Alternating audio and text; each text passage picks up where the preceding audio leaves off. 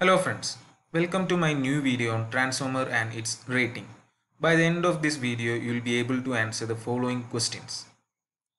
Define a transformer, list the basic parts of a transformer, briefly explain the working principle of a transformer, briefly explain how the rating of a transformer is specified by the manufacturer, and why the rating of a transformer is given in kVA or MVA. So, what is a transformer? Transformer can be defined as a static piece of device used to transfer electrical energy from one circuit to another circuit by electromagnetic induction without any electrical connection between the two circuits. And also the frequency remains the same. So the points to be noted are it is a static device that means there is no moving parts so the losses will be reduced and comparatively the efficiency will be higher when compared to other equipments uh, like motors generators etc and it transfers electrical energy from one circuit to another circuit. That means electrical energy from one circuit is transferred to another circuit but it is done without any electrical connection between the two circuits that means uh, basically it provides isolation electrical isolation between two circuits but the connection is by magnetic means. That i will explain in the next slide and here the frequency is also maintained same now the working or working principle of a transformer can be explained with the help of the schematic diagram shown here. A transformer in its basic form has a laminated core with two set of windings wound on it. The one set of winding to which AC source voltage is connected is called the primary winding and the other set of winding is called the secondary winding to which the load is connected. Now what happens is that when an AC source voltage is applied, it sets up an alternating flux in the primary coil.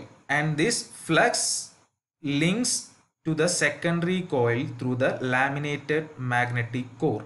And this alternating flux links with the secondary coil. And by Faraday's law of electromagnetic induction it induces some EMF or voltage in the secondary coil and if the circuit is closed like this a current will flow in the secondary circuit. So this is the basic working principle or working of a transformer. Now let us discuss about the rating of a transformer or how the rating of a transformer is specified by the manufacturer. Let us consider this circuit with the AC source voltage applied to the primary and a load being connected to the secondary. The load is always specified in kilowatt because that is the power real power which is converted to useful work. Let the load be 100 kilowatt in this case. And uh, the transformer is rated as 1 kV 100 kilowatt. So let the transformer be rated in kW. And let us see what happens.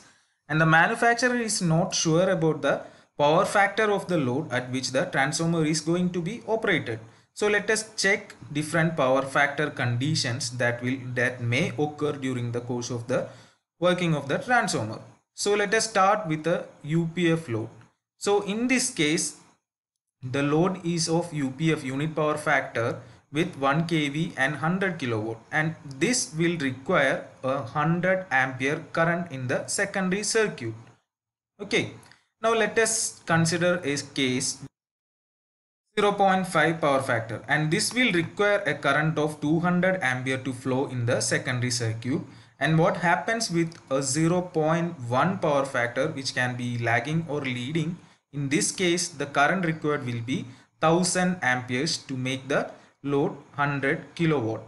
Okay so we have observed different power factor conditions starting from UPF going down to 0.1 power factor and the current changes from 100 ampere to 1000 ampere.